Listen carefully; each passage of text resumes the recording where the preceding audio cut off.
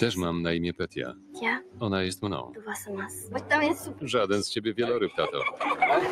Naprawdę jesteś Petią Dubarową? Dlaczego dorośli myślą, że wszystkie siedemnastolatki zabijają się przez głupoty? Usiądź i posłuchaj. Od wczoraj ja i twój ojciec jesteśmy rozwiedzeni.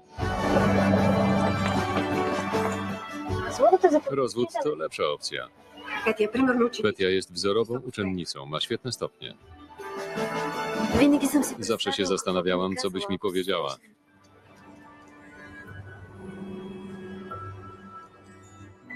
Petia moja Petia. W Cinemax 2.